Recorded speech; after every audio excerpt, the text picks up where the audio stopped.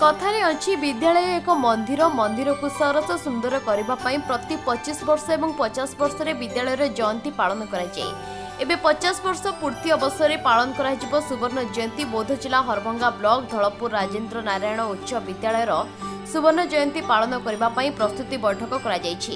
ଏହି ବୈଠକରେ ସମସ୍ତ ପୁରାତନ ଛାତ୍ରଛାତ୍ରୀ ଅଭିଭାବକ ଅଞ୍ଚଳର ବୁଦ୍ଧିଜୀବୀ ଏବଂ ସ୍କୁଲର ଅବସରପ୍ରାପ୍ତ ଶିକ୍ଷକ ଯୋଗ ଦେଇଥିଲେ। ଏହି ବୈଠକକୁ ସାଫଲ୍ୟ କରିବା ପାଇଁ ବିଦ୍ୟାଳୟର ସମସ୍ତ କାର୍ଯ୍ୟ କିପରି ସୁଚାରୁ ରୂପେ ହୋଇପାରିବ ପୁଙ୍ଖାନୁପୁଙ୍ଖ ଆଲୋଚନା କରାଯାଇଥିଲା।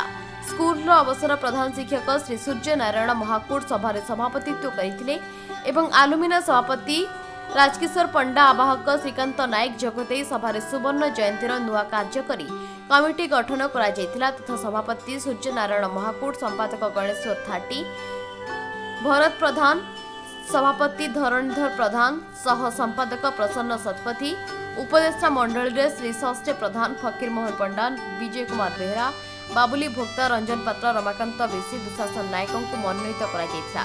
ଶେଷରେ ପ୍ରମିଳା ଦନ୍ତା ସମସ୍ତଙ୍କୁ ଧନ୍ୟବାଦ ଜଣାଇଥିଲେ। ବୌଦ୍ଧରୁ ବିଜୟ କୁମାର ନାୟକଙ୍କ ରିପୋର୍ଟ ସକାଳ ଖବର